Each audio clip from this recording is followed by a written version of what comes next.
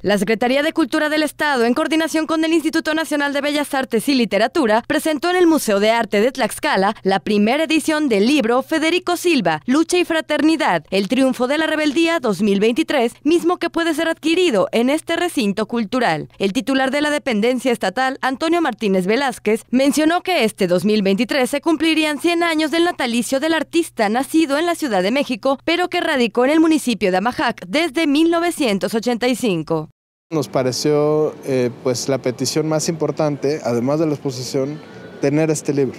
Este libro realmente es algo que va a dejar un testimonio para la posteridad y para quien en su momento quiera estudiar a Federico Silva, eh, porque pues, es un artista que ha influido muchísimo en el arte mexicano. Vale la pena mucho adquirir el catálogo, leerlo, leer los textos, leer el texto de los curadores. A mí en lo particular es el que más recomiendo, el que más me gusta.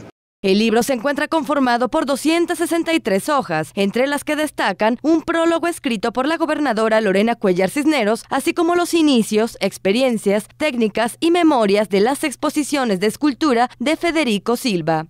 A veces se nos olvida que es un artista, como lo vemos cotidianamente, que es un artista que eh, pues, eh, tuvo exposiciones en todo el mundo, reconocido internacionalmente, pero sobre todo que influyó muchísimo en, la escultura mexicana, pero también en el arte en general en México.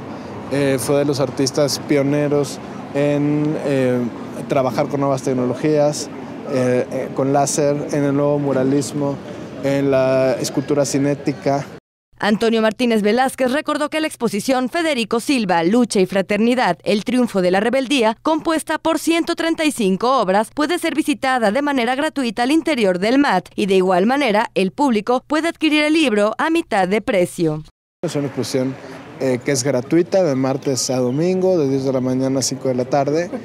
Eh, y que en la tienda del museo podrán encontrar el catálogo. Lo tenemos a mitad de precio. Si ustedes van al Palacio de Besartes lo van a encontrar por ahí como en 1.200 pesos y aquí lo van a encontrar en 600 pesos y con descuento para estudiantes y personas mayores.